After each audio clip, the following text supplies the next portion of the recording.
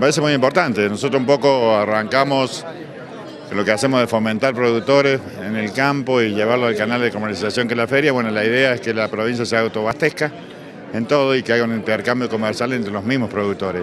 De esa manera vamos a levantar, este, vamos a mejorar el consumo y vamos a generar mucha mano de obra. Así que estamos muy, muy de acuerdo. Vamos a empezar mañana, vamos a ir al pueblo Ranquel, vamos a ir a visitar la cerámica, vamos a visitar la pedrera mostrarle la provincia y después vamos a ponernos a trabajar y ver eh, la, viabilidad de cada, de cada tema, ¿no?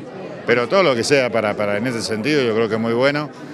Este, la única salida del país es ponerse a producir, a producir y bueno, que haya mucho trabajo para la gente, ¿no? Sacarle el subsidio a las provincias es terrible lo que está pasando con la industria con la industria nacional. Nosotros tenemos problemas acá en la provincia con alrededor de 14, 15 industrias que no pueden comercializar sus productos por la importación o por la, por la logística, que aumentó una barbaridad, todo el tema eléctrico.